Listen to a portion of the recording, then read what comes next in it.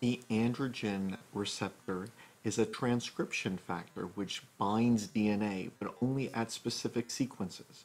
So the sequence thymine, guanine, thymine, thymine, cytosine, thymine is the site where it binds an androgen response element.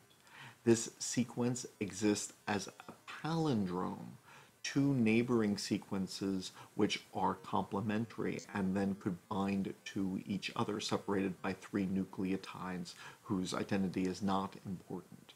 So any gene which possesses this androgen response element could then bind the uh, transcription factor of the androgen receptor and have its level of transcription altered by the presence of androgen hormones.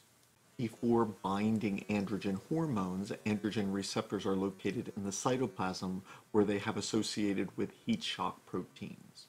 Upon binding the androgen hormone, which could be testosterone, dihydrotestosterone, or one of the adrenal androgens, the androgen receptor will dissociate from the heat shock protein, change shape, and then form a dimer composed of two androgen receptor proteins.